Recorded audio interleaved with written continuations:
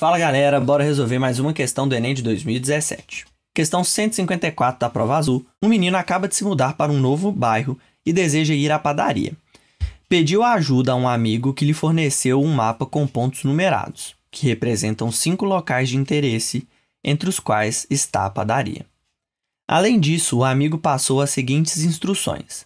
A partir do ponto em que você se encontra, representado pela letra X, ande para oeste. Então vamos seguindo as instruções aqui.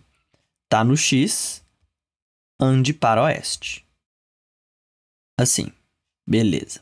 Vire à direita na primeira rua que encontrar. Então, se o menino estava nesse sentido aqui, no sentido da setinha, ele estava virado para lá.